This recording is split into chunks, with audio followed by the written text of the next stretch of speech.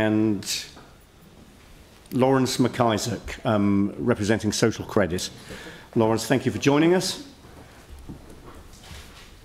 Thank you for the opportunity to present some comments to support our written submission.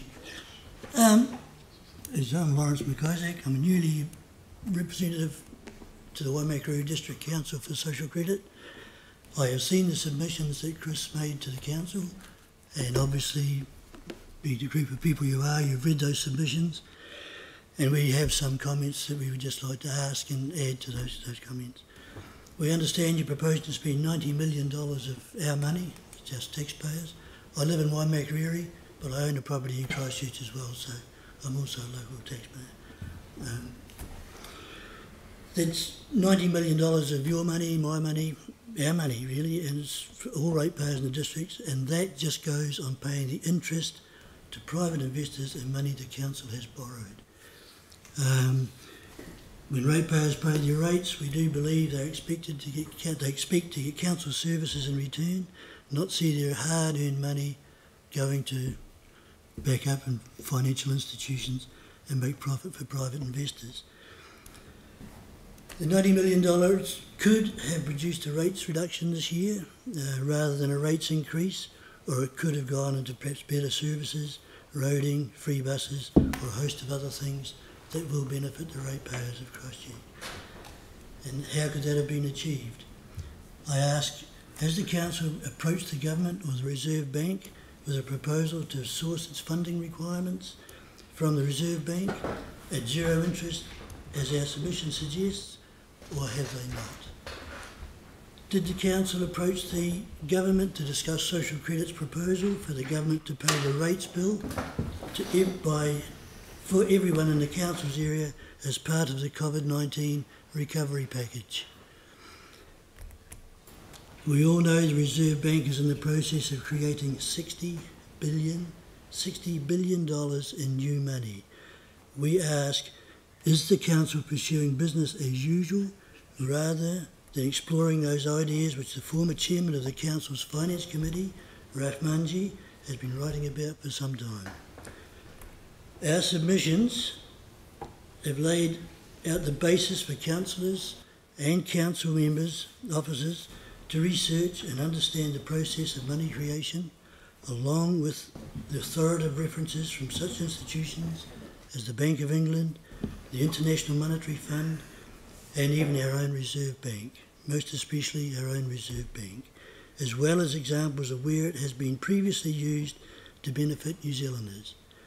And we quote pre post war 43,000 houses built by a Labour government from money created from the Reserve Bank at no interest to the government of the day. Has any councillor or council officer undertaken research to that end? We asked.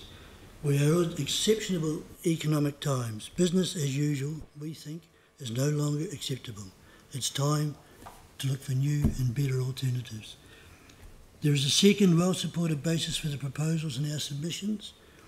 Leading economists like Ganesh Nana, Dr. Geoff Bertram, Shamubeel Eaqub, and the aforementioned Raf Manji all support the proposal and the policy of social credit with regard to the money coming from the Reserve Bank at zero interest and therefore a huge saving to the district and community.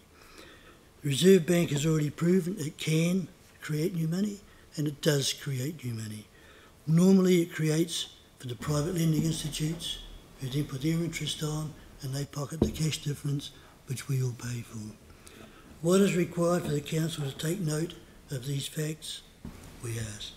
The decision to do so could achieve the, for ratepayers the greatest service the Council has ever provided. And that is the use of the ratepayers' money, all of it, not just some of it, to provide facilities, facilities and services. Thank you for the chance. Thank you. Tim. Yeah, thank you. You've mentioned the previous councillor Raf Manji and, and yourselves. Have you gone to the Reserve Bank and asked them this question? I believe that we have, and personally I do not have the answers, but I believe that I can find those answers for you. So social credit has gone to the Reserve Bank because it's you know we, you can write we can write all we want we can do what we want but if the Reserve Bank don't aren't interested and won't do it for for us Yes. then it's kind of irrelevant isn't it? Well, I believe under the Reserve Bank Act, the, and I've got reference to that elsewhere, um, yes, there is provision to do that. Yeah, legally or provisions they can but whether they want to and the reasons why they don't would be really handy for us to know that wouldn't it? Okay, well, I shall check with Mr Leitch and, and Well, but the, the question's been asked of us, but if the Reserve Bank and it, it's no point. All right, this is a discussion that we can have outside of this meeting, but thank you for raising I the um, discussion that we're having. Yeah, That's great. Thanks very much indeed for the time taken addressing us today. Thank you for It's appreciated. Thank you. Okay, so next we've got